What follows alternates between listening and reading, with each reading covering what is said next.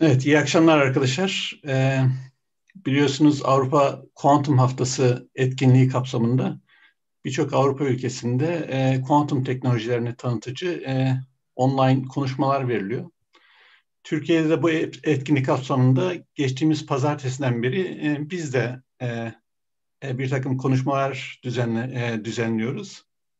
Bugün bu dizinin e, beşinci ve son konuşmasını dinleyeceğiz konuşmacımız Sabancı Üniversitesi'nden e, Zafer Gedik Hoca. Ben Zafer Hoca'yı kısaca bir tanıtmak istiyorum. Aslında uzun zamandan beri tanıyorum kendisini. Lise yıllarından. E, lisede benden e, bir sene önceydi. E, hatta e, lise Ankara Fen Lisesi'nden bahsediyorum tabii. Or, orada da işte her sene böyle bir öğrenciler e, yeni gelen öğrencilere işte ne bileyim bir olimpiyat yarışma tarzı böyle bir sınav falan verirlerdi. E, işte orada e, fizik sınavına girmiştim. Zafer Hoca hazırlamıştı sorulardan bir tanesini onu hatırlıyorum. E, Foucault sarkacı. Neyse ondan sonra e, peşinden e, biz de e, ODTÜ fizik bölümüne gittik. Orada da bir miktar beraber olduk. Ondan sonra e, Zafer Hoca e, Bilkent'e geçti. O zaman Bilkent'in ilk e, kurulma yıllarıydı. Belki muhtemelen e, ilk öğrencilerden, ilk lisansüstü öğrencilerinden biridir muhtemelen. E, orada e, e, master ve doktorasını orada yaptı. Süper iletkenlik üzerine. Ondan sonra Bilkent Üniversitesi'nde e, uzun bir süre çalıştı. Daha sonra Sabancı Üniversitesi'ne geçti. Şu anda halen e, Sabancı Üniversitesi'nde çalışıyor. E, konu böyle işte katı hal fiziği aslında süper iletkenlik diye başladı ama bir süre sonra baktık ki e, Zafer Hoca konuyu değiştirmiş. E, niye değiştirdin? Daha heyecanlı bir konu bulmuş. Bakalım neymiş acaba bu daha heyecanlı konu? Kendisinden dinleyelim. Olur mu? Buyur hocam. Çok çok teşekkürler e, Sadi. Ben şimdi e, tabii o günleri hatırlattım. Ben de e, kim bu parlak çocuk bu Foucault sargıcı problemini çözen diye kağıda baktığımı hatırlıyorum e, o günden bugüne de hep böyle e, Sadi hocanızın çalışmalarını gördüğümde aynı hisse kapıldım. Çok teşekkürler. E, ve şey tabii bir yandan da güzel ODTÜ günlerinin özlemi. E, şimdi bugün e, evet Avrupa Kuantum Haftası e, konuşacağımız konu hep böyle kuantum teknolojileri. Biraz daha onlara e, dokunacağız ama e, kuantum teknolojileri deyince akla gelen en önemli başlıklardan bir tanesi de kuantum bilgisayarları. E, ondan biraz bahsedelim e, diye bu başlığı seçtim. Şimdi ilerleyebilecek miyim? Evet ilerledim ve fazla ilerledim. Bu sayfayı Avrupa'da bu etkinliği düzenleyen ekipten gelen bir sayfayı seçip ee, bunu istediğiniz gibi kullanabilirsiniz. Bütün sunumu demişlerdi. Ama ben bir sayfayı aldım e, sizler için. E, bu, buradaki ifadeyi de tercüme ederek. E, bahsettiğim bu arada kuantum amiral gemisi. E, buna kuantum amiral gemisi diyoruz. Avrupa Birliği kuantum teknolojileri konusunda büyük e, hedefler koymuş kendine. Çünkü dünyadaki gelişmelere paralel bir şekilde bunu yapmak gerekiyor. Ve bizim aslında bu haftaki e, etkinliğimizin e, teması ikinci kuantum devrimi. Nedir? E, bu konularda zaten e, bazı şeyler, e, bir, bir, bir takım yönlerini konuştuk ve sizi yani şu an lisede olan ya da üniversitede başında olan, özellikle lisede olup da üniversitede bir program seçecek olanlarınızı nasıl etkileyecek? Neler yapmalıyız? Nasıl bir gelecek bizi bekliyor? Dünyayı nasıl bir gelecek bekliyor? Çünkü bu kuantum devrimi öyle böyle değil. Gerçekten e, hayatımızı e, etkileyecek bir şey. Şimdi tabii ikinci deyince e, bunun bir birincisi olmalı değil mi? Aklıma şey geldi şu Zeki Müren'in Beklenen Şarkı filminde Bedia Muahit'le karşılaştı annesi. E, anneciğim bu şarkının e, baş tarafı nerede der, sonu olduğuna göre bir de başı olmalı diye bir diyalog vardır. Evet, ikinci kuantum devrimi varsa birincisi ne? E, birincisi aslında e, malumunuz. İşte bu resimde özetlenen e, bu resmi her konuşmada olmasa bile sık e, e, kullanıyorum. Birçok bu konuda çalışan hocalarınızda da görmüşsünüzdür. Çünkü çok meşhur bir resim. Buradaki isim görülen fizikçileri, ismen bir kısmının çalışmalarını çok iyi tanıyorsunuz. Einstein burada, Curie, Dirac, Feza Bey'in, Feza Gürsey'in doktora hocası aynı zamanda, Schrödinger, Heisenberg e, ve Planck. Şuradaki sabit. Elinize aldığınız bir bilimsel makale hangi dilde olursa olsun acaba kuantumla ilgili mi değil mi diye e, karar verme yollarından bir tanesi bir yerinde Planck sabiti geçiyor mu? Bazen en başında bir yerde Planck sabitini bir alıyoruz diye bir ifade geçer. O da e, buna giriyor. Kuantumu tanımlayan ifade. 1927'de aşağı yukarı e, bu zamanlar 25 Ekim e, bu grup artık kuantum mekaniğini şekillendirmişti. Bu konferansta, Solvay'daki bu konferansta e, bunu böyle yapmalıyız. Her şeyi anlayamadık ama bu çalışıyor. Gözüken o ki doğayı böyle tasvir etmeliyiz fikri oturmuştu. Bu birinci devrim.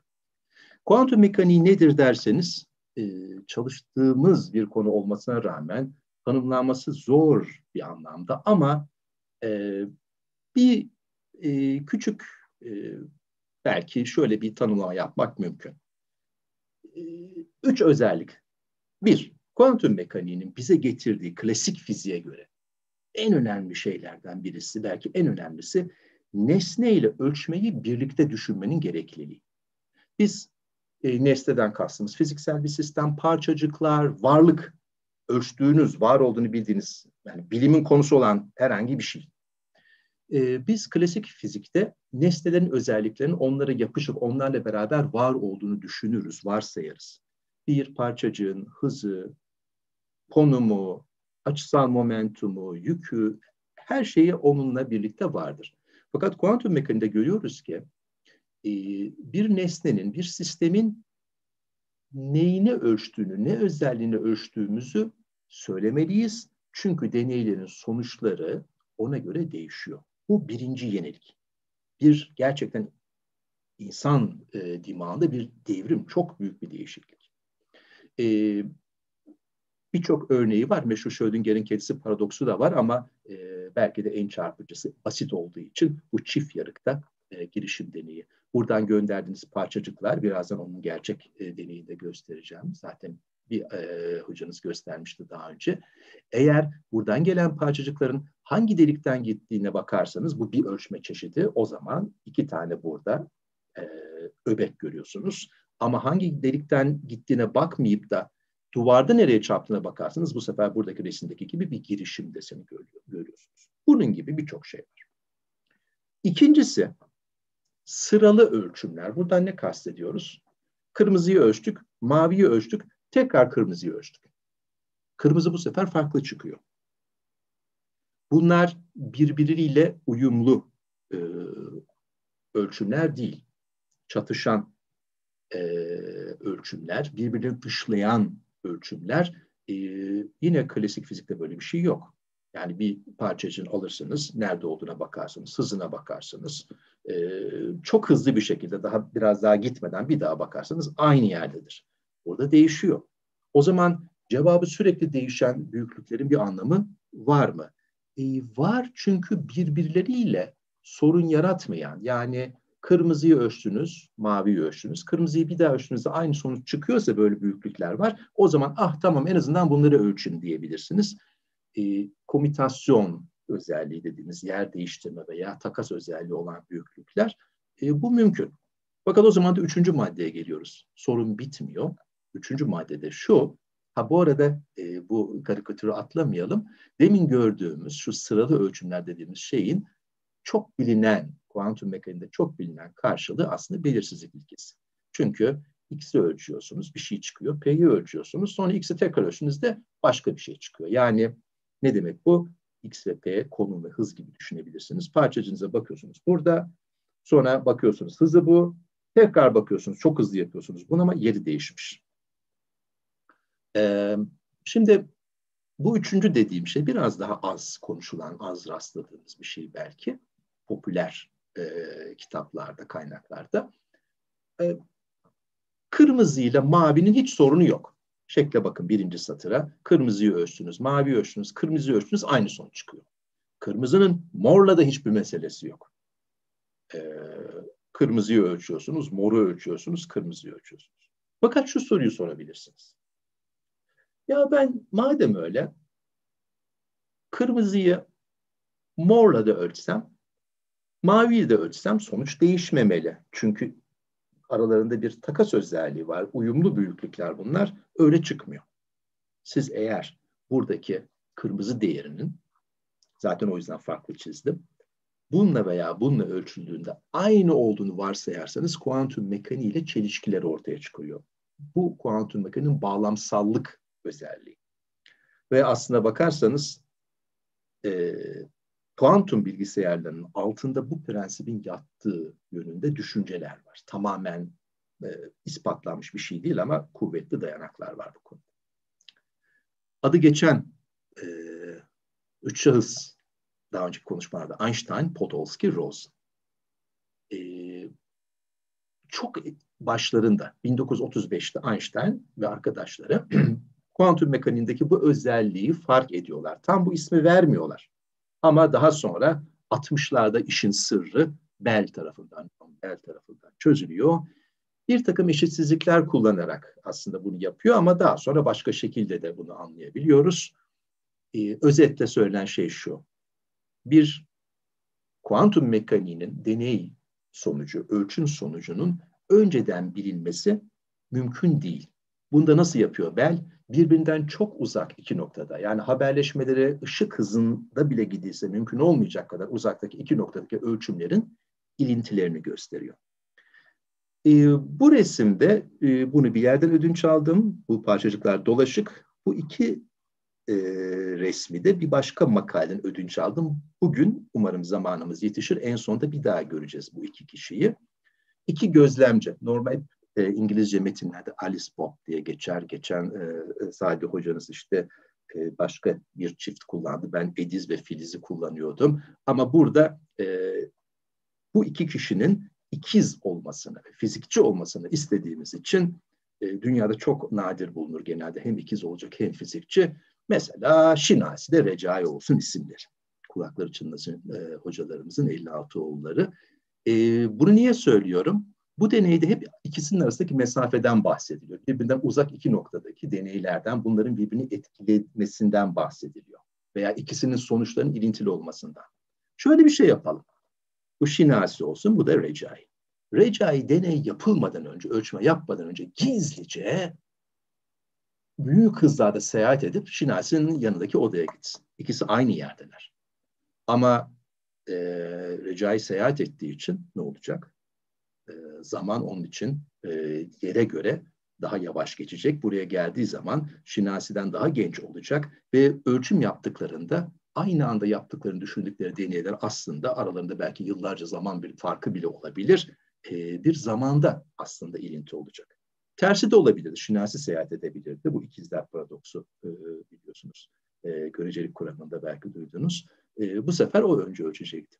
Şunu demek istiyoruz burada uzayda iki farklı noktadaki olayların kronolojik zaman sıralaması diye bir şey yoktur. O yüzden böyle bazı yerlerde insanlar bu burada ölçüldüğü an bu da burada oluyor. Bu böyle ölçüldüğü an bu da burada oluyor diye bazı şeyler kullanıyorlar ya. Ama e, bu düşünce deneyi bile aslında e, bu tür ifadelerin ne kadar sakıncalı olduğunu gösteriyor.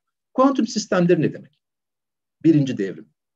Kuantumlanma. Yani enerji seviyelerinin e, ayrık ayrık olması. Biz normalde sürekli şeylerden bahsederiz klasik fizikte ama kuantum mekaniğinde kuanta, miktar, e, bir ara ben bunu bir şey uydurmuştum. Miktariyet mekaniği gibi bir şey bile uydurulabilirdi belki. Miktarlar var, belirli miktarlar. Ama e, kuantum mekaniğinde her şeyin de böyle kesikli olduğunu sanmayalım. E, sürekli kuantum sistemleri de var. Dalga parçacık ikiliği, demin gördük e, deliklerden gelen e, elektronların tanecik olduğunu düşündüğümüz elektronların girişimi söz konusu. Tünelleme, enerjisi bir duvara açmaya yeterli olmayan parçacıkların öbür tarafa geçmiş, geçiyormuş gibi gözüktüğü durumlar var. Süperpozisyon, bir kedinin hem canlı hem ölü olduğu gibi bir şeyin hem sıfır hem bir, bir halkadaki akımın hem saat yönünde hem tersi yönde hareket ettiği gibi durumlar var. Kuantum girişimi, işte o elektronların birbirini söndürmesi, gitmeleri olmaları gereken yerde aslında olmayıp başka bir yerde olmaları. Dolaşıklık o da değil. Bu tür şeyler yani baş, e, klasik fizikte hiç görmediğimiz, duymadığımız e, tamamen yeni. Burada altı tane nokta var ama başka kuantum özelliklerini de ekleyebilirsiniz. Bu tür davranışları var. Bir sistem ne zaman kuantum? İşte bunların bir ya da birkaçını gösteriyorsa. Genelde bunlar küçük sistemler ama bu çok da şart değil. Küçüğün tanımı çok değişti. Artık kocaman e, onlarca atomdan oluşan moleküller de bu tür özellikleri gösteriyorlar. Hatta kimilerine göre örneğin şu gravitasyonel dalgaları ölçmek için kullanılan bir dedektör vardı algılayıcı. 40 kilogram civarında bir e, ağırlık. Bunun kütle merkezinin kuantum mekaniksel bir şekilde titreştiğini adeta iddia ettiler. E, ve birkaç uzmanı sorduğunda evet olabilir diye başka gruplarda bunu doğruladı. Ama makroskopik sistemler, günlük hayatta gördüğümüz büyük sistemler de dolaylı olarak zaten hep kuantum mekaniğinin e, sonuçlarına göre işliyorlar. Şu e, iki yarık deneyi bir kez daha çok hızlı görelim. Klasik olarak A ve B iki tane delik olan bir yere böyle küçük parçacıklar atarsak bir oyuncak tabanca ile örneğin oklar attığımızda A deliği açıksa karşıda burada bir birikme olacak. B açıksa karşıda burada bir delik e, birikme olacak. İki delik birden açıksa ikisinin toplamı böyle bir şey olacak. Ama aynı şeyi dalgalarla yaptığınızda bu ve bunun toplamı dalgalar birbirini kimi zaman söndürdüğü, kimi zaman kuvvetlendirdiği için duvarda bir takım çizgiler oluşturuyor. Biz bunları hep okurduk ama galiba öğrencilik yıllarımızda belki de benim tam o, o sonrası yıllarıma rast gelmişti. Bir deney yapıldı. Tarihini çok iyi hatırlayamadım şimdi. Çok deney yapıldı sonra ama bu ilk olduğu için heyecanlanmıştık. Burada bir kaynaktan elektronlar geliyor. İki farklı yoldan gidiyorlar. Bir algılayıcıya geliyorlar. Hitachi firması yaptığı için burada öyle yazıyor ve ekranda acaba nereye ne kadar elektron düştü diye bakılıyor. Tek tek gidiyor bunlar. Herhangi anda bir elektron var. İşte şu meşhur resim çıkıyor o zaman. Kuantum mekaniğinin belki de özeti. Her bir nokta bir elektron ekrana çarpıyor ama bir bakıyorsunuz ki bunlarda bir şekilde bir olasılık dağılımı var. Çoğunlukla buraya çarpıyorlar, buraya çok az çarpıyorlar. Çoğunlukla buraya çarpıyorlar, buraya çok az çarpıyorlar. Bu neden oluyor? Bu işte olasılık dalgalarının girişi. Evet, birinci kuantum devrimi aslında şu anda gördüğünüz ekranda dahil.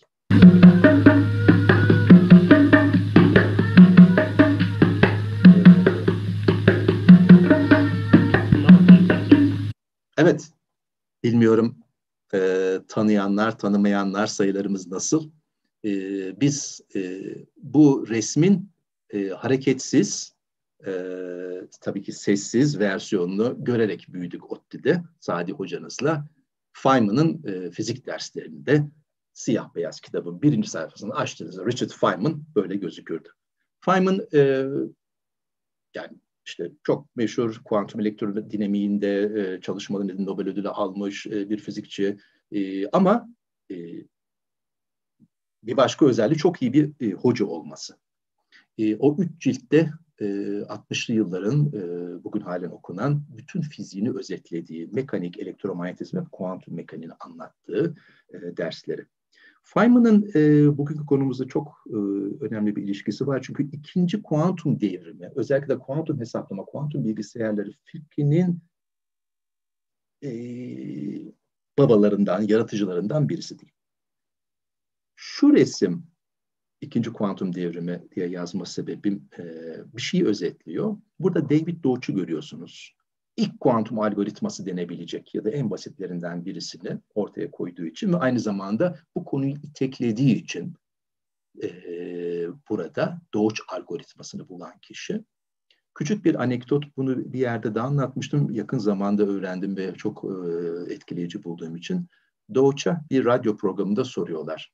Sizce dışarıdan birileri gelse işte hani e, uçan daireler, şunlar bunlar ya da başka e, e, uygarlıklarla ilişki kursak e, bizi kimin anlatmasını istersiniz? Kimin bu teması sağlamasını istersiniz diye soruyorlar.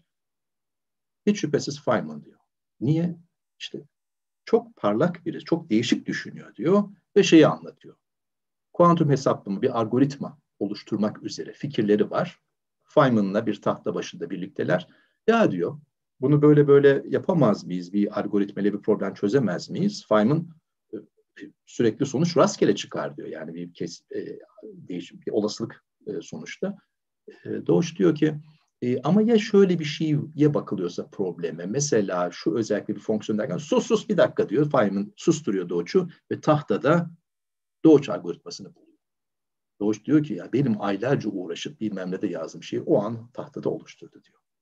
Evet, Feynman böyle biriydi. Aynı zamanda bu e, Challenger'ın e, patlamasını, sırrını çözen ve o ekip büyük katkısı bulunan bir fizikçiydi. Pratik hayatta da böyle. E, aşağıda e, IBM'in kuantum bilgisayarını görüyorsunuz. İki nedenle bir süperiletkenlik e, konusundaki geçmişim nedeniyle en yakın olduğum e, bir e, bilgisayar. Bir de bu bilgisayarı kullandık. Ondan da kısaca bahsedeceğim. Biraz e, hızlanarak. Evet, kuantum manifestosu. E, Avrupalılar e, dünyada bu kuantum teknolojilerindeki patlamayı görüp bundan dört yıl önce bir araya geliyorlar Avrupalı bilim adamları ve diyorlar ki yeni bir çağa geliyoruz. Teknolojik bir devrim yaklaşıyor aslında e, başlamıştı. E, bizim de e, dünyada gelişmeleri paralel olarak güçlerimizi bir araya getirmemiz lazım. Bu manifestoda e, neler söylüyorlar? Dört ana başlık aslında. Aşağıda maalesef şuradaki e, benzetimciler hem kelime biraz değişik gelebilir size hem de açık renk olduğu için onu okudum. E, haberleşme, benzetimciler, algılayıcılar ve bilgisayarlar. Haberleşme konusu konuştuk. Da, daha dün aslında e, işin bir kısmını gördük. Bu anahtar dağıtım, şifreleme. E, benzetimciler konusu pek e, herhalde konuşulmadı ama e, biraz Özgür Hoca'nızın e, anlattıklarından belki çıkıp bunu anlayabilirsiniz. Bir takım kuantum sistemlerinin örneğin çözümünü yapmak istiyoruz. Karmaşık bir malzemenin, bir ilacın, e, doğada merak ettiğimiz bir problemin onu çözmek, matematiksel denklemlerle e, çözmek belki zor ama onlara benzer bir kuantum sistemi oluşturup bunu çalıştırıyorsunuz. Durun bakalım ne olacak diyorsunuz. Buna simülasyon, benzetim diyoruz. Algılayıcılar bu birazcık e, tabii e, bahsi geçti. E, dedektörler e, çok hassas. E, bu arada tabii metroloji, e, kuantum saatleri, çok hassas zaman ölçümleri birçok şeyi düşünebilirsiniz. Ve bilgisayarlar. Bilgisayarları biraz daha anladığımızı sanıyoruz. Aa, işte bu bilgisayar var, o da daha iyi bilgisayar. Evet. E, ama e, tam da o kadar e, birebir bir karşılaştırma e, değil. Burada e, manifesto çıktıktan bir süre sonra e, işte bu kuantum e, community network dediğimiz kuantum e, topluluğu ağındaki e, ilişkilerimiz nedeniyle ben de bunun bir Türkçe tercümesini yapmıştım. E, burada e, web sayfasından kuantum manifestosunun e, orijinalini de görebilirsiniz. Ama bugün konumuzla ilgili yere bakarsak ben şu an Zoom'dayım o yüzden şuradaki kafaları kaydırayım buraya geleyim. E, bakarsanız e, 4 2016 idi ya 2020 2021 geliyor. E, şuralarda bir yerde olmalıyız. E, gerçekten aslında e, bunlar başarıldı. Bundan sonra gelecek şey yüzden fazla kübit. Kübit demek ya da kubit ama kübit diye okuyoruz genelde. E, dile daha kolay geliyor. Kuantum biti.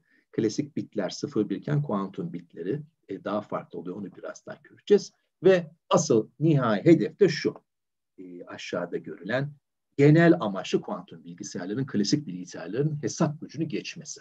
Yani öyle bir bilgisayar yapıyorsunuz ki e, bu artık klasik hiçbir bilgisayar, dünyadaki bütün bilgisayarları kullansanız bile aslında ile geçilemiyor. Aa diyorsunuz artık yeni bir çağa girdik.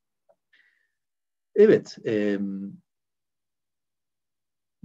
bu konuşmayı hazırlarken aklıma geldi. Ya demiştim böyle bir şey göstermiştim diye. Bundan e, yaklaşık 15 yıl önce ben e, İstanbul'a geldikten kısa bir süre e, sonra e, TÜBA'da TÜB, Türkiye Bilimler Akademisi'nde bir konuşma vermiştim. Orada kullandığım bir resim ve bir grafik vardı. Onu buldum tekrar buraya koydum.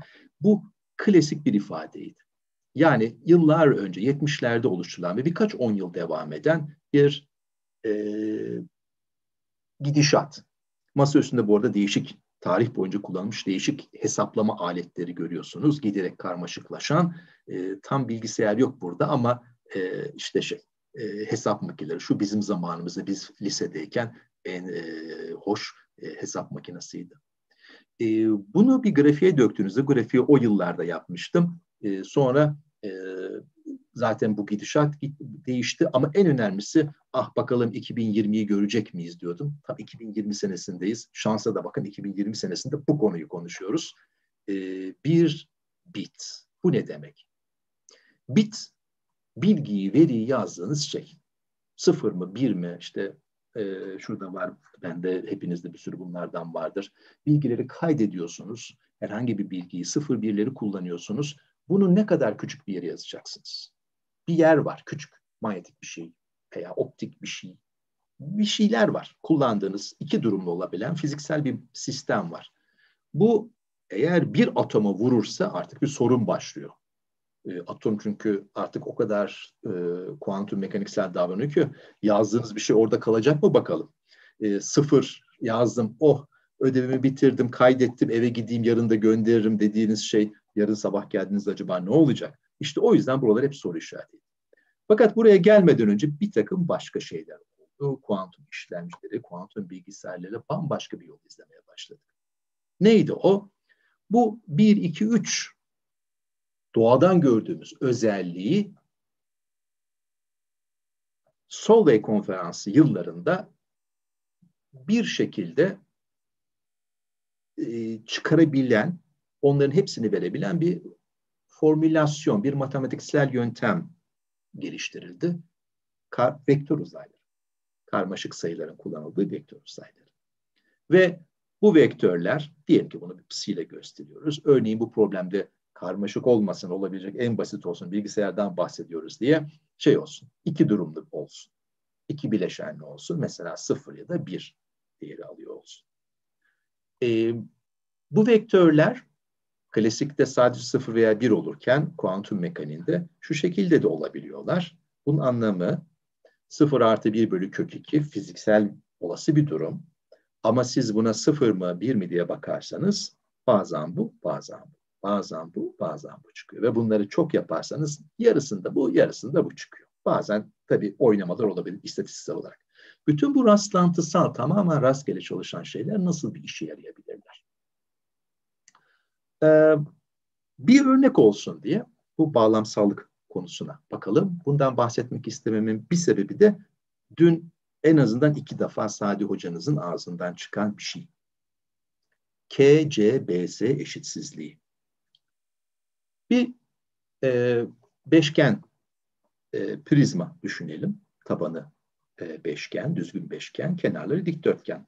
Buna baktığınız zaman açılarından hemen tahmin ederseniz kenarlar arkaya doğru gittiği için belli bir yerden baktığınızda bu e, şey pentagramın kedisi olsun hep Schrödinger'in olacak değil ya.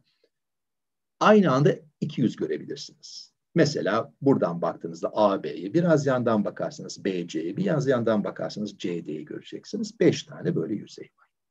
Bu yüzeylere birer tane sayı yazalım. Artı bir ya da eksi bir yazalım.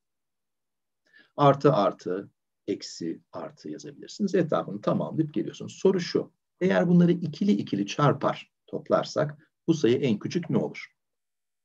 e, artı çarpı artı, artı, eksi çarpı eksi. Artı ama artı eksi ve eksi artı da eksi verir. Değil mi? Hemen başlarsanız, a buraya bir artı koyayım. O zaman burası eksi olsun. En küçük değerini hesaplamaya çalışalım. Bu eksi olur. Artı, eksi, artı, eksi, artı olunca maalesef burada artı ve artı olacak. Eksiyle başlarsanız da benzer, bir şey göreceksiniz. Bu eksi üçün altına inemez. Ama kuantum mekaniğinde iniyor. Yani öyle bir kuantum sistemi bulabiliyorsunuz ki e, bunun aynı anda iki özelliğini ölçebiliyorsunuz. Yani takas özelliği var. Artı bir ve eksi bir alabiliyor bu değerler. E, ama e, olabiliyor bu değerler. Ama bu toplamı hesapladığınızda cevap eksi üç değil, beş eksi dört kök beşe kadar inebiliyor. Bu da e, eksi dörde çok yakın bir sayı. Eksi üçün altında. KCBS de bu arada bu e, bir zamanlar bir kentte e, gayet e, aktif olan bir gruptu. E, maalesef Shumovski'yi bu makalenin gönderilmesinden bir hafta sonra kaybettik. Liachko e, e, şu an e, artık bu konularda çalışmıyor. E, grup yok. Can ve e, e, Muhammed Ali Can ve Sinem Binicioğlu da bu arada bu sırada öğrencilerdi. O yüzden sizler de gelip üniversitelerde, bizim üniversitelerimizde, Türkiye'deki üniversitelerde master doktora yaparken belki böyle temel bir şey keşfedebilirsiniz. Örneği olduğuna göre e, başkaları örneklerde bunu takip edecektir. Peki tek kütürtte bu özellik varsa bağlamsallık, bununla bir hesap yapabilir miyiz? Kuantum algoritması çalıştırabilir miyiz? Bu çalışmayı gördükten sonra bir ister istemez siz de e, etkileniyorsunuz. İki meslektaşınız, iki e, öğrenciniz bunu yapmış. E, gerçekten e, 2008 senesiydi bu. E, çok etkilendiğim bir çalışmaydı. Bunu e, Sadi hocanızla çok paylaştım. O da e, yani bunu çok erken e, fark edenlerden e, birisiydi. Çünkü ö, önemli çalışmalar, temel çalışmalar her zaman hemen anlaşılmaz. Bununla acaba bir şey, bir problem çözebilir miyiz? Doğuç algoritması gibi. Doğuç algoritması iki tane kübiti kullanıyor. 0101. Acaba bununla bir şey yapabilir miyiz diye. Ve bir problem çözmenin mümkün olduğunu e, fark ettik o sırada. O da şu. Eğer elinizde üç tane top varsa bunları dokuz tane kareye yerleştirirseniz kural şu. E, bir sütunda ya da bir satırda sadece bir top bulunacak. Bunu altı şekilde yapabileceğinizi görebilirsiniz. Permütasyon bilenleriniz hemen bunu fark edebilir. Ne oluyor? Bunu üç değişik yere koyabiliyoruz. Burası dolduğu için bunu iki değişik yere koyabiliyoruz. Buna tek yer kalıyor. Üç çarpı iki çarpı bir eşittir altı. Ama soru şu. Bize bunlardan bir tanesi verildiğinde acaba biz bu permütasyonun birinci grupta mı, ikinci grupta mı olduğunu nasıl fark e, bulabiliriz? Bu iki grubun farkı şu bir grup içerisinde bir elemandan bir elemana giderken çift sayıda değişim yapıyorsunuz. Ama tek sayıda değişim yaparsanız, yani sadece iki topun yerini değiştirirseniz öteki gruba gidiyorsunuz. Hemen görebilirsiniz tablolarla biraz oynayarak. Ee, bunu klasik olarak çözmeye çalışırsanız, en azından iki topun yerine bakmak gerektiğini görebilirsiniz. Mesela bakın burada sol üst dolu, burada da sol üst dolu. Yani hem birinci satırda sol üst dolu, hem ikinci satırda sol üst dolu e, hem birinci satırda sol orta dolu hem ikinci satırda sol orta dolu. Aynı şekilde yani ne yaparsanız yapın bir değere bakarak bunu yapamıyorsunuz. İki tane hesaplama yapmak gerekiyor. Ama bunu biraz matematiksel hale getirip bunun bir permütasyon problemi olduğunu kenarlara böyle koordinatlar hani satrançta yaparız ya A, B, C, D, 1, 2, 3, 4, 5, 8 kadar. Aynısını yapın öbürü de A'dan H'ye kadar. O zaman böyle dönüşümler var. Matematiksel olarak sorduğumuz şey acaba bizim dönüşümümüz birinci satırda mı, ikinci satırda mı? Bunu kuantum hesaplamada, kuantum devrelinde şöyle gösteriyoruz. Yine aynı işaretler. Bu bir fonksiyon bir değerden başka bir değere gidiyor. Bu da bir kutu, kapı diyoruz bunlara. Ee, ama kuantum mekaniğinde sadece buraya yukarıdaki şekle dönersek 1, 0, eksi 1 vermek zorunda değilseniz onun süper pozisyonlarını da verebilirsiniz. Mesela 0 artı 1 bölü kök 2 de verebilirsiniz. 1, 0, eksi 1 bölü kök 3 de verebilirsiniz. Her şeyi yapıyor. Kuantumun özelliği bu. Süperpozisyon. Aynı anda hem o hem o. Bunu yaparsanız şöyle bir devre kullanabiliyorsunuz. Bir defada sağ tarafa bakarsanız iki farklı sonuç elde edilebildiğini gösterebiliyorsunuz. Yani şuradaki kutu eğer çift permütasyonsa cevap 1 çıkıyor, tek permütasyonsa eksi 1 çıkıyor. Ee, biraz şuna benziyor. Ee, iki tane çubuğun siz boyunu karşılaştırmaya kalkarsanız, klasik olarak ne yaparsınız? Çubukları alırsınız. Birisi uzun, birisi kısa bir e, cetvel getirirsiniz. Birinciyi ölçersiniz, ikinciyi ölçersiniz. Sonra sayılarına bakarsınız. Aa bu bundan büyük dersiniz. E, ama kimse sizden çubukların uzunluğunu istemedi. Hangisi uzun bir tek onu istedi. Kuantumda yaptığımız şey bu çubukları böyle yan yana koyuyoruz. Tepesine yatay bir çizgi getiriyoruz. İlk buna değiyor. Aa bu uzun diyoruz. Boylarını da bilmiyoruz. Sadece kimin uzun olduğunu biliyoruz. Burada da altı tane permütasyon var. Tek çift yerine yine aynı parmak hesabı olsun. Altı tane. Üçü burada, üçü burada. Bunlar kısa, bunlar uzun. Kimse sizden hangi parmak olduğunu sormuyor. Sol, orta parmak, işaret parmağı, yüzük parmağı. Hayır bunu sormuyoruz. Sadece sol el mi sağ el mi bu soruluyor. Siz de çubuğu getiriyorsunuz. Aa bu taraf. İşte kuantum hesaplama, kuantum bilgisayarları bu tür kuantum paralelliklerinden faydalanıyor. Bu çok basit. Ee, aslında tabii bunu ispatlamak mümkün değil ama olabilecek en basit algoritma. Tek e, kuantum sistemiyle çalışıyor ve e, klasikten iki kat hızlı bir şekilde ne anlamda hızlı, zaman hızından bahsetmiyoruz, işlem sayısı açısından hızlı bir şekilde cevap veriyor. E, bu makale arşivde dururken henüz basılmadan ilk deneyi yapıldı. Bu arada ben e, son yurt dışına çıkışım, üniversiteden de belki sayılı çıkışımda e, salgından önce gidip bu grupta Hindistan'da tan tanışma şansım oldu. Bu arada Arvind e, şey e, isim de soyad aramayın gerçek adı Arvind'le e, tanıştım. E, Kavita'nın eşiymiş onu da orada öğrendim. E, bu ekip nükleer manyetik rezonans deneyi yaptılar. Ve bu algoritmayı deneysel olarak çalıştırdılar. Bu gördüğünüz e, kloroform. Biz eskiden bunu sadece Türk filmlerinde kötü karakterlerin elinde görürdük ama burada enamarı yapılmış. E, atomlardan bir tanesi döteryum. E, döteryum böylece üç seviyeli bir sistem oluşturuyorlar ve burada gerçekten tek ve e, çift ve tek permütasyonlar için sonuçların hep aynı çıktığını gösteriyorlar. Altı tane permütasyon var. Shift ise sonuç bu, tekse sonuç bu. E, pazartesi günüydü bir optik e, sistemiyle ilgili. A, bu arada bu e, şeyde de Brezilya'da da bunun bir e, başka daha karmaşık durumu yapıldı. E, e, aynı deneyim. Bir soru vardı. E, şeyi sordunuz. E, oda sıcaklığında çalışan e, fotonik sistem Zanada'ydı sanıyorum. E, şimdi e, fotonik sistemler farklı. Bunun da bu algoritmanın da bir fotonik e, versiyonu var. Lineer e, optik e, şekilde çalışan.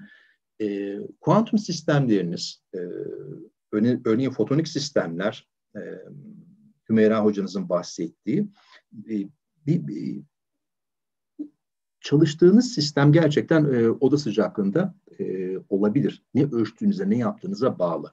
Kuantum sistemlerinin dışarıdan etkilenmemesi için biz genelde çok düşük sıcaklıklarda çalışıyoruz örneğin süper etkenlerde ama her sistem için bu e, şart değil. E, elmastaki bu azot boşluk deneyinde olduğu gibi. E, şu e, bir sayfada şeyi göstereyim. IBM e, bilgisayarı. Bu bilgisayar e, bugün dünyada, Avrupa'da da çok var. Uzaktan bağlanıp çalıştırabildiğiniz kuantum bilgisayarları var ama bir anlamda alanda e, hem yapımı hem de dışarıdan ulaşımı açısından ilklerden bir tanesiydi. Biz de bu bilgisayarda da bu deneyi e, gerçekleştirdik. Üye oluyorsunuz, bağlanıyorsunuz. O zamanlar 12 kübitti, ilk e, yıllarıydı. Şimdi daha iyi. E, algoritmanızı, elinizdeki kuantum algoritmanızı bu bilgisayarda uzaktan çalıştırabiliyorsunuz. Eskiden şey vardı onun gibi, e, teleskoplara uzaktan bağlanıp gözlem yapabiliyorsunuz ya onun gibi. Evet, burada da yine tek ve çiftler ayrı ayrı çıkıyor. E, kuantum bilgisayarları ile ilgili Da Vincenzo'nun yıllar yıllar önce ya bir alet, bir kuantum bilgisayarı olacaksa bir makine şu özellikleri sağlamalı dediği bir takım kriterler var. Bunlar e, oldukça e, makul ve aslında kuantum bilgisayarı diyebilmemiz için de bir makineye beklediğimiz kriterler. Demin gördüğünüz algoritma, kuantum permütasyon algoritması, onun deneyleri bunların hepsi özel bir amaç için e, tasarlanmış şeyler. Yani bir bilgisayar değil aslında. IBM de bilgisayar dememize rağmen tam böyle değil. E, çünkü e, siz kendi mimarinizi yapıyorsunuz. Uğraşanlarınız varsa e, ve abilerinizden, ablanızdan duyduysanız e, belki biliyorsunuz. E, her şeyi yapamıyorsunuz. Kapıları her yere koyamıyorsunuz. Bazı kısıtlar var. Ama burada ne istiyoruz biz? E, kübitleriniz olacak bu kübitleri istediğiniz şekilde 0, 1, 0 artı 1 bölü kök 2 veya neyse başlatabileceksiniz. Kapılar olacak. Evrensel kapı demek istediğiniz işlemi hani bir F fonksiyonu U falan var ya kafanızda ne varsa amacınıza yönelik onu koyabileceksiniz. Ve e, yeterince uzun sürede bunlar o özelliklerini koruyabilecekler. Yani bilgisayarınız hesabını bitirmeden çökmeyecek. E, en sonunda da ölçüm yapacaksınız. Ölçümleri okuyabilmelisiniz sonuçları. E, işte bu yolda halen e, IBM bilgisayarı da öyle. E, en e, bize ümit vaat eden uygulamalardan bir tanesi süper iletkenler. Ama foton sistemleri de var dediğimiz gibi e, başka iyon sistemleri var. E, adaylar çok. Süper iletkenlik E, bu resim çarpıcı bir resimdir. E, ve bu arada şey 86 senesi miydi tam hatırlayamıyorum. Biraz sonrası belki 87 e, Hacettepe Üniversitesi'ndeki bir laboratuvarda Türkiye'deki ilk yüksek sıcaklık üstün etkinliğinin sıfır dirence düşüşünü görmüştük. E, kuramsal çalışıyoruz tabii biz laboratuvara çağırmışlardı e, çok heyecanlı bir andı o. Onun burada yapılması e, çok hoştu. E, bu e, havada yüzen e, bir mıknatıs. Mıknatıs e, süper etken, süper etken mıknatıs birbirinin üstünde yüzdürebilirsiniz, yapıştırabilirsiniz. E, bu manyetik özelliğiyle ilgili ama asıl adını veren şey direnç, iletkenlikle ilgili. Şu normal metalleri soğuttuğunuz zaman direnç çok düşük sıcaklıklarda bile hep bir yerde kalır. E, ama süper iletkenler bir kritik sıcaklığın altında birdenbire sıfır dirence inerler. Ayrıca manyetik alanda dışarı iterler. Meissner etkisi dediğimiz olay. Bütün bunlara ek olarak bir de tünelleme, kuantum tünellemesi dedik ya, göz hızı tünellemesi dediğimiz bir şey var. A süper iletken, B süper iletken, arada bir yalıtkan varsa buradan buraya yalıtkan olmasına rağmen arada bir şeyler geçebiliyor. Çok enteresan bir alet yapabiliyorsunuz bundan. Bu da gerçek resmi. 2 mikrometre bu. Tipik olarak alüminyum kullanılıyor mesela. Ee, 10 üzeri 4, 10 üzeri 5, o yani milyon mertebesinde elektron işin içine karıştığı sistemler düşünün. Bunu bir kuantum biti, kübit olarak kullanabiliyorsunuz. Bunları bir araya getirerek e, bir e, şey yapıyorsunuz, e, işlemci. Bu da aslında e, şeyin resmiydi. Geçen son işte a bütün klasik bilgisayarları geçtik iddia edilen e, sistemin e, kübitlerinin mimarisini gösteriyor. E, çok basit bir problem gördük. Doğuç'un algoritması da basit bir problemi çözüyordu. Bunlar öğretici, pedagojik problemler. Asıl uygulama alanları, örneğin Shor algoritması denilen bir algoritma var, Grover algoritması var. Bir takım zor problemleri çözmek. Bunlardan bir tanesi, geçen gün yine e, Sadi Hoca'nız bahsetti, mesela çarpanları ayırma. Biz iki sayıyı çarpmayı biliyoruz. 2 çarpı 2 4, 2 çarpı 3 6 çarpım tablosu. Ezberliyoruz 4 çarpı 24. Ama tersten gittiğiniz zaman iş öyle kolay değil. Zaten klasik kriptografi de bu işe yarıyor. Bu, bu mantığa dayanıyor. Bir yönde bir işlemi yapmak çok kolay. Sonuç verildi. Buradan oraya gidileceği belli ama çok yoruluyorsunuz. Gitmekle gelmek aynı değil. Birisi yokuş aşağı, birisi yokuş yukarı.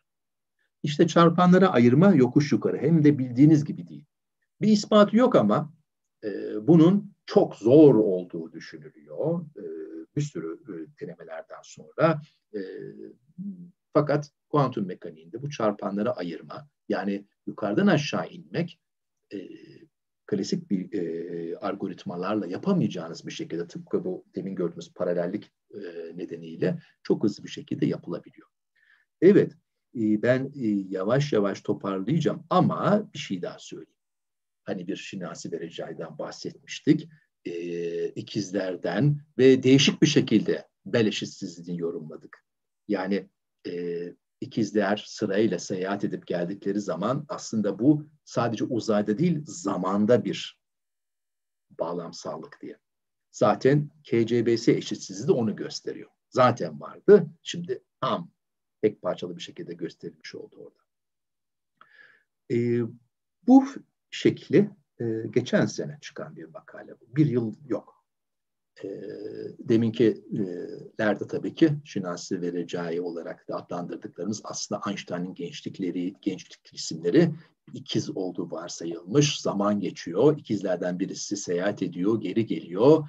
Yerde kalan, seyahat etmeyen yaşlanmış, öbürü genç. Bana abi diyeceksin diyor ya da tersi. Şinasi Recai ediyor.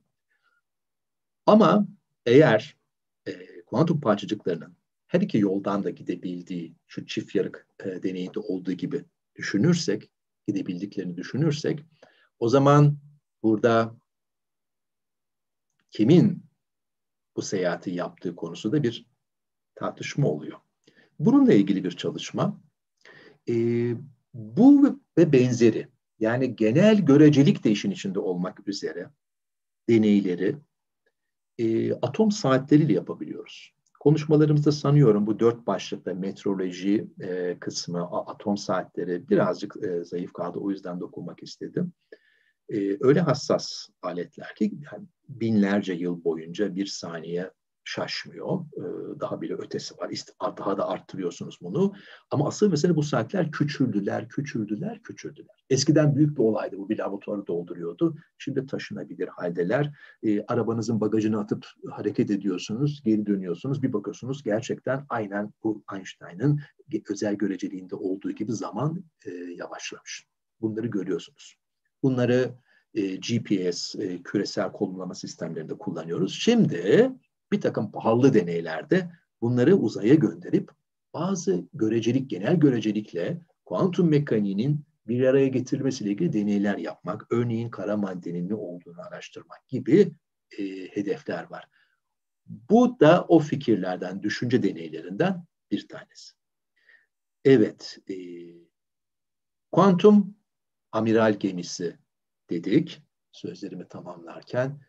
E, bu çok önemli bir hedef. E, coğrafi olarak ve değişik nedenlerle Avrupa'ya yakınız. Bu arada bu bahsettiğim etkinlikler e, adı Avrupa bile olarak geçmesine rağmen tabii ki şemsiye geniş. E, her zaman toplantılarımızda örneğin İsrail oluyor. E, bazı ortak e, dış katılımlar da oluyor. Amaç burada bir sinerji yani işbirliği yaratmak. Ve e, niye bunu e, bu haftada, bu hafta boyunca Avrupa ülkelerinde herkes siz liseleri anlattı. Çünkü bu dal, bu konular değişik yönleriyle çok önemli. Seçimlerinizi yaparken, geleceğinizi çizerken e, aklınızda bulunması gereken bir konu. Değişik açılardan bir, mühendislik okuyacaksınızdır. Hani belki e, ziraat veya gıda için çok doğrudan etkili olmayabilir ama özellikle bilgisayar, elektrik başta olmak üzere e, kimya bu işle ilgili e, birçok maddenin sentezlenmesi. Biyoloji kısmından e, çok bahsetmiştik ama şimdi kuantum biyolojisi diye bir şey var. O ayrı bir olay. Bir de onun dışında insan beyninde biyolojik e, kuantum mekaniksel olayların olduğu yönünde kuvvetli e, tahminler, e, kanıtlar e, var. E, fizik zaten. E, ama bir de işin matematik yanı var. Değişik matematiksel problem. Hepsinin temelinde e, çok ilginç problemler var. Bir tanesini söyleyeyim de e, matematiğe meraklılarınız uykusuz kalsın. Örneğin e, bu karmaşık vektör uzaylarında uzayın boyutunun karesi kadar eşit açılı vektör çizebiliyorsunuz. İki boyutta dört tane, üç boyutta dokuz tane. Ama bunun ispatı yok.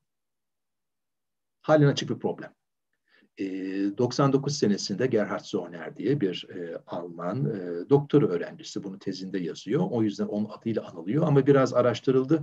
Bu aslında 70 yıl önceye uzanıyor aşağı yukarı 50'lere ve bugün e, radar teknolojisinden e, işte bu kuantum mekanikteki bir takım problemlere kadar birçok konuyu ilgilendiriyor. Teknisyenler bunlar e, laboratuvarlar böyle dönüyor. Siz bir sisteme girdiğiniz zaman sadece orada bir böyle işte e, dağınık saçlı bir profesör gelip onu alıp bunu böyle yapmıyor. Bir ekip çalışıyor. Onlarca kişi çalışıyor. Değişik laboratuvarlar, değişik e, şeyler hazırlıyorlar ve her arayüzde de teknisyenler var. O yüzden belki de böyle bir yol seçebilirsiniz. Aklınıza çok gelmemiş olabilir ama işin işletme, hukuk ve pazarlama kısmı da önemli. Çünkü kuantum teknolojilerinde yani bunları yapılacak yatırımlar, e, yatırımların buraya yönlendirilmesi, e, bir takım e, veri güvenliği gibi yanlarıyla e, işin hukuk kısmı ve pazarlama. Burada küçük bir anekdot anlatayım sonra tamamlayacağım. E, bir geçen seneydi sanıyorum. Beni bir finans e, toplantısından uluslararası çağırdılar. E, işte fintech belki biliyorsunuz. Şaşırdım. E, şey yani herhalde yanlış oldu diye. Yo yo dediler. E, biz şey finansçılar olarak bu kuantum hesaplama üzerine e, şey oturum düzenleyeceğiz konferansımızda.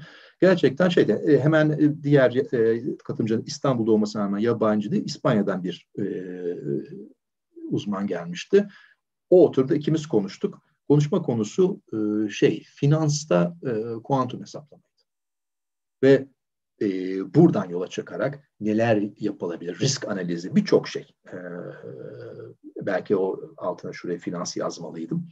E, tartışılıyordu. O yüzden bu dağlara gittiğinizde de e, lütfen bu konu aklınızda olsun. Evet, benim söyleyeceklerim bu kadar. Evet, çok teşekkür ederiz hocam. Evet, ee, e, Zeki birazdan herhalde soruları yazacaktır buraya. Şimdi topluyordur. Ben e, bir de şeyden bahsetmek istiyorum. Yani IBM bilgisayarından bahsettin ama E, gençleri de e, bu bilgisayarı kullanma konusunda teşvik edersek herhalde e, çok iyi olacak. Yani herkes e, bir hesap alıp e, aslında şey yapabiliyor, e, bunları evet. kullanabiliyor. E, muhakkak kuantum mekaniği bilmek gerekiyor mu? E, bize öyle geliyor aslında ama e, çok da fazla bir şey bilmeden e, bazı temelleri e, edindikten sonra çok rahat kullanabiliyorsunuz. Aslında belki Zeki bize bir şeyler söyleyebilir çünkü işte Kuantum Türkiye grubu var biliyorsunuz. Hı. Ee, Zeki en sonunda bir şeyler söyleyecek. Bir e, evet, kısa bir iki tamam. Tamam o zaman. Mesajı verse tamam o zaman. Hocam e, sorular da geldi. İstersen ee, ben onları görmek için gö- e, ha, okuyabiliyorum. E, KCBS benzeri konular. E, ya e, KCBS'nin olduğu bir kitap ben e, yani kitapları çok iyi takip etmiyorum son zamanlarda ama e, rastlamadım, duymadım. E, halen yani 12 e, yıla rağmen e, yeni bir e, konu ama e, birçok makalede yani pedagojik makalelerde bulabilirsiniz. E, Nielsen Chuan e, temel bir kitap. E, ama o da tabii e, her şeyle güncel değil fakat ansiklopedik bir kitap. Yani biz burada e, 17 sene oldu galiba geçen gün hocalarımızla sohbet ettik. O hep e, aynı kitabı kullanıyorum derste. E, ama bir takım yeni konular geldikçe örneğin demin bahsettiğim konu zoner e, varsayımı e, böyle şeyleri ekliyoruz. KCBS için o yüzden e, tam bir kitap şeklinde söyleyemeyeceğim ama eminim olacaktır. Staj imkanları yurt dışında da tabii ki bulabilirsiniz. Ama Türkiye'deki e, gruplar bu hafta gördüğünüz hocalarınız. Bunun dışında COBİT'ten e, COBİT sayfasına ulaşabilirsiniz. E, Bilkent'te, e, ODTÜ'de deneysel, deneyselleri sayıyorum özellikle mühendislik staj imkanı olduğu için. İzmir Yüksek Teknoloji e, e, e, e e, yakınımızda bizim Sabancı'nın Özyeğin Üniversitesi'nde, hatta bazı açılardan Gebze Teknik Üniversitesi'nde e, değişik gruplar var. Yani e, oradan o ekiplerin e, başlarındaki kişilere yazarak e, ben staj için gelebilir miyim diyebilirsiniz. E, bizde de var, Sabancı'da var. Kuantum bilgisayarları gelecekte e, şimdi aslında belki onu anlatmamışız. E, e, şimdi e, kendi e, eksikliğimi hissettim. E, klasik bilgisayarı kullandığınız her yerde. Ama ne, nedir? Çok daha kuvvetli bir bilgisayar ya da klasik bilgisayarlarla yapamayacağınız hesapları yapmak. Ne, ne demek yapamamak? Şu anki mevcut bilgisayarlarımızın hepsini çalıştırsak e, ve şu anki hızlara çalışsalar evrenin yaşı diye bir sayılar var ya işte şu kadar milyar. Yani bunun el, tam aynı şey olmasa 10 milyar olsun. Bu kadar süre çalışsa bile yapamayacağı hesaplar var. E, çünkü işlem sayısı belirli. O işlem sayısını bir çevirme, e, bir atma süresiyle çarptığınızda bir süre çıkıyor. O süre çok uzun.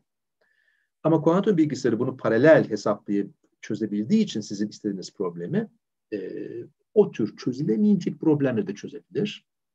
Ama e, klasik bir bilgisayarla sonsuz sürede bile çözülemeyecek bir problem varsa kuantum bilgisayarı da çözemez. Yani kuantum bilgisayar sihir değil bu anlamda. Sadece bir takım algoritmaların çalışmasına imkan veriyor. O algoritma sadece onun üstünde çalışıyor. Klasik bilgisayarda çalıştıramıyorsunuz. O yüzden o da o avantajı kullanıyor. Burada sizlerin belki en büyük katkısı yeni algoritmalar bulmak olabilir. Ciddi algoritmalar. E, önemli problemleri çözen. E, fotonik işlemci teknolojileri ile e, Şimdi e, fotonik işlemci teknolojileri bir yana fotonik e, tabanlı bilgisayarlar var e, dediğimiz gibi veya çalışmalar var. E, hibrit kelimesinin üstünde e, de durmak lazım. Farklı kuantum sistemlerinin bir araya gelmesi, yarı bir miktarı klasik bir miktarı kuantum e, sistemleri yapmak mümkün. Bu da ayrı bir e, konu. Klasik bilgisayarınız süper bilgisayar çok hızlı çalışıyor, o bir şey yapıyor. Onun bazı noktalarında kuantum bilgisayarından yardım alıyor. E, mümkün olabilir. E, beşinci soruya e, siz tabii beş nedir görmüyorsunuz. Türkiye'de yüksek lisans ve doktora seviyesinde yürütülen çalışmalar var mı? Varsa hangi kurumlarda? E, buradaki e, sunumlar beş gün boyunca yapılan e, bunun bir kesiri. E, örneğin Türkiye'deki deneysel e, çalışmalar, bunun için en azından e, bir üç beş grup e, sayabilirim.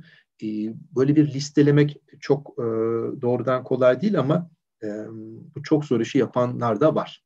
Mesela Zeki abiniz geçen bu e, Quantum Community Network bağlantısı nedeniyle e, her ülkeden şey e, ülkemizdeki ekipleri kabaca aslında sayıları istediler. Ben de Zeki'nin o konuda e, tezinde, master tezinde çalıştığını bildiğim için veya aktif olduğu için rica ettim. E, epey detaylı e, bir şey geldi. Grup isimleri e, veya işte hangi konularda kaç kişi çalışıyor gibi. E, biz tabii birbirimizi kendi aramızda tanıyoruz ama biraz daha e, detaylı şey isterseniz e, Zeki e, abinizle, hocanızla da temasa geçebilirsiniz. E, IBM bilgisayarı kuantum işlemcisi içeriyor mu? E, evet, içinde e, süper etken kübitler var. E, ama buna şimdi işlemci e, demek e, ne kadar e, doğru? E, az sayıda birkaç on e, kuantum bitini birbirine istediğiniz bir geometride bağlayıp araya kapılar koyuyor, koyuyorsunuz. E, şimdi işlemci e, bilgisayar e, işi çok anladığım bir iş değil ama daha karmaşık, daha komplike bir sistem için kullanılıyor. Buna isterseniz küçük bir yani bir özel bir amaca yönelik bir küçük parça olarak, küçük bir işlemci olarak adlandırabilirsiniz prosesör anlamında. E, tabii beraberinde bu e, ALU, Arithmetic Logic Unit gibi soruları da herhalde kısmen e, bir cevap veriyor. E, o kadar karmaşık e, bir aşamada değil. E, süper iletkenli, yalıtkanlı sistemin bir torku oluyor mu acaba? E, ilginç bir e, soru. Şimdi e, tork e, biliyorsunuz aslında şey diye. Yani bir şey dönerken onu durdurmak, duran bir şeyi döndürmek. E, akımın başlaması veya akımın durdurulması için e, bir anlamda bir elektromanyetik tork tabii ki uygulamanız lazım. Yani içinden bir akı geçiyor ve bunu e, kuantum mekaniksel seviyeye inerseniz bu akının kuantumlandığını da gösterebiliyorsunuz. E, buna akı kuantumlanması deniyor. Evrensel bir sabitin hep katları çıkıyor. 1, 2, 3, 4 veya eksi yönde eksi 1, eksi 2, eksi 3 diye. E, yalıtkan sistem de geçmiş burada. E, eğer oradaki an, maksat sorudaki e, tabii geri dönüşümde olmuyor maalesef sorularımız. E, şeyse halkanın üstünde örneğin bir yeri açıp oraya yalıtkan koymaksa, Josas'ın tünellemesiyle bakmaksa onun öbüründen çok farkı yok. Yani orada o tünelleme duvarının olması e, tünelleme olanı nedeniyle aşılıyor.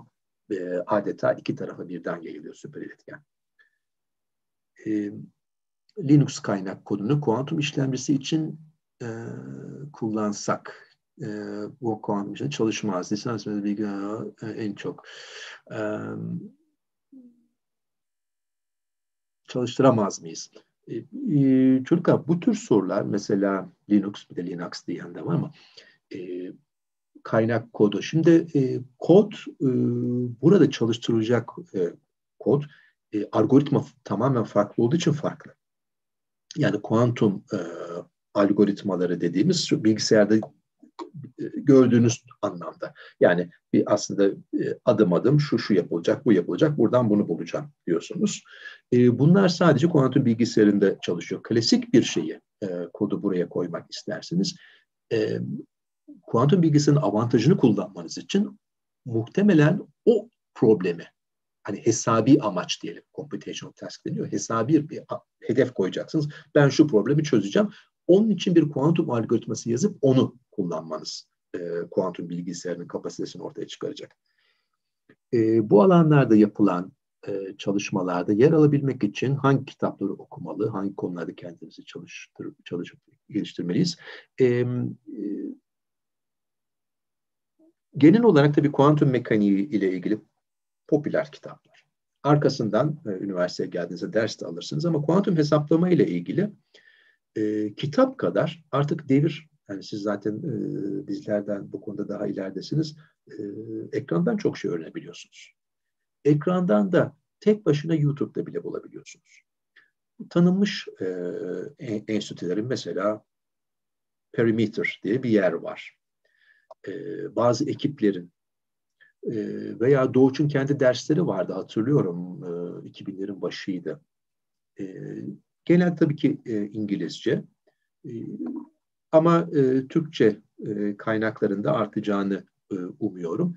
Başlangıç olarak buralardan popüler böyle bir 5-10 dakikalık kısa konuşmalarla e, ilerlemek, popüler konuş, konuşmalarla başlamak iyi olabilir. Oradan size ilgi çekici gelen şeyler duyarsanız belki o konularda daha çok e, öğrenip, öğrenmek isteyebilirsiniz. E, bilgisayar bilimleri okuyan bir arkadaşınız Türkiye'de diyor ki kuantum e, parçacık fiziği üzerine ilgim var. Birleştirmek için çift anadal vesaire yapmadan fizikle ilgilenebilmek için nasıl kendimi geliştirebilirim? E, tam bu işlerle aslında benzer şeyleri meraklı e, bir e, e, abiniz vardı geçenlerde belki e, Zeki bahseder. Son etkinliğimizde e, kuantum e, Avrupa Kuantum Akademisi diye bir etkinliğe e, e, gitmek için kendisini e, seçtik. Yani ODTÜ'de yüksek lisans öğrencisi bir arkadaşınız. Belki o tür hem parçacık fiziği hem de kuantum hesaplama ilişkileri olduğu için çok özel bir konu olduğu için böyle Venn diyagramlarının tam özel bir yerinde olduğu için söylüyorum. E, belki öyle doğrudan öyle bir şahsa e, ulaşmanız iyi olabilir. E, Zeki e, abiniz yardımcı olacaktır. Evet herhalde e, şey bu kadar değil mi? Zamanımız da tamam.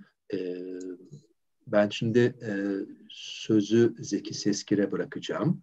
E, teşekkür ederek organizasyon e, çünkü e, biz e, bu ben Sabancı Üniversitesi'ndeki Zoom'dan bağlandım ama e, YouTube e, yayınlarımızı, e, duyurularımızı, bir kısmınızın gördüğü afişi, sizinle olan teması hepsi e, ne o sağladı. E, ben de sizin e, bu e, Quantum Türkiye, Q Turkey'den haberdar olmanızı istedim. Çünkü çok faaliyetleri var. Özellikle e, bilgisayar, e, elektrik, mühendislikteki arkadaşlarınızla fiziğin bir arayüzünü sağlayan bir ekip bu. E, herhalde o da birkaç şey söyleyecektir. E, görüşmek üzere. E, bizi bugün burada dinleyen, seyreden ya da ileride YouTube'dan seyredecek olanlar için aranızdan e, üniversitelerimize hatta Türkiye'de bile olması şart değil, dışarıda da olabilir. E, bu dallara e, gideceklerinize özellikle e, şimdiden başarılar diliyorum. Evet. Hocam çok teşekkürler. Ağzınıza sağlık. Ben hemen hızlıca birkaç şey söyleyeyim. Sonra zaten çok da uzatmadan insanları rahat bırakalım diye. Ekranı görebiliyorsunuz değil mi? Hı. Evet arkadaşlar ilgilenenler için web sitemiz buradan qturkey.org'dan gelip bakabilirsiniz. Mayıs 2019'dan beri aktifiz. Şimdiye kadar şurada gördüğünüz şekilde pek çok etkinlik düzenledik. Esas olarak yani kuantum teknolojilerin her alanında çalışmaya çalışıyoruz ama esas olarak kuantum programlama üzerine eğitimler düzenliyoruz. Bunlar tamamen ücretsiz, katılım açık. Sadece başvuranların yani çok temel bir lineer cebir ve belki biraz Python bilmesini istediğimiz için basit bir test yapıyoruz.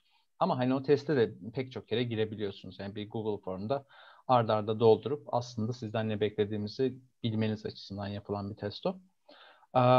Bunun dışında bugün son başvurusu olan 6 Kasım'da bir etkinliğimiz var. 16-21 Kasım arası olacak online olarak. İlgilenenler varsa videolar İngilizce, mentorluk ve daha sonrasında soru cevap ve işte anlatımlar e, Türkçe olacak şekilde tavsiye ederim. Web sitesinden girip bulabilirsiniz. Bunun dışında bu konularda Türkçe içerik yok, bulamıyoruz diyenler e, haklılar ama bizim bir web sitemiz var. quantumturkiye.org diye. E, burada gerçekten çok fazla Türkçe içerik var. E, olabildiğince yabancı haberleri çevirmeye çalışıyoruz. Kendimiz orijinal içerik üretiyoruz. E, zaten YouTube'daki sayfayı biliyorsunuz. Orada da çok fazla içerik var. Buradan girip bakabilirsiniz. Ayrıca bunu özellikle tavsiye ederim etkinlikler kısmına. E, olabildiğince tüm dünyada e, sizin de katılabileceğiniz yani online e, herkese açık etkinlikleri biz burada listeliyoruz. Yani buradan bakıp gerçekten şöyle devam ederek neler var. İşte European Quantum Week de buradaydı. Bakabilirsiniz. Arada çok güzel şeyler denk geliyor. Bir de son olarak şundan da hemen bahsedeyim. Ee, sonra uzatmayayım. Ee, biz bir nevi Q-Word'un e, bir Türkiye koluyuz diyebiliriz. Q-Word de aslında e, Cem Say hocamızın eski doktor öğrencilerinden Abuzer Yakar Yılmaz'ın e, Letonya'dan başlattığı yani öncülüğünü yaptığı bir girişim. Şu an kendisi zaten Riga'da doçent oldu. Ve yani esas olarak hani gönüllülük esasında nasıl biz kuantum teknolojilerine erişimi yaygınlaştırabiliriz? Özellikle böyle çok e, kaynak olmayan yerlerde yani daha çok Doğu Avrupa, işte Türkiye, şimdi yeni mesela Pakistan'da, e, işte Mısır'da, Tunus'ta öylesi yerlerde pek çok e, kuantum kuzenimiz var. E, ve küresel katılıma açık bir Global Quantum Programming Workshop'umuz olacak 23-28 Kasım tarihlerinde. Bu tabii full İngilizce. Ama kesinlikle tavsiye ederim. Eğer Türkiye'dekine katılmayacaksanız ve kuantum programlamayla ilgileniyorsanız şuradan başvuru formunu hızlıca doldurabilirsiniz rahatça. 16 Kasım'a kadar da bunun başvuruları açık. Lisedeki arkadaşlarımız da katılabiliyorlar. Sadece ailelerinden bir izin almaları gerekiyor formu doldururken. Onun dışında ben stop share yapayım. Çok teşekkür ederiz bu hafta bizlere katıldığınız için, e, bu sunumları izlediğiniz için. E, hepsinin YouTube'da kayıtları kalacak. E, paylaşmak istediğiniz herkese paylaşabilirsiniz. Yani bundan son derece şey yaparız. Memnuniyet duyarız. Şimdi YouTube'u açtım. Bundan bir çıkarınız var mı diye soru soru gelmiş. Hayır bundan bir çıkarımız yok arkadaşlar. Bundan çıkarımız Türkiye'de bu alana ilginin artması, insanların bu konuya daha da dahil olması. Ee, teşekkür ederim. Saçımın güzel olduğunu söyleyen bir arkadaşımız olmuş. ee, sağ olun. Evet. Teşekkürler Zeki. Hoşçakalın. Ee, görüşmek üzere.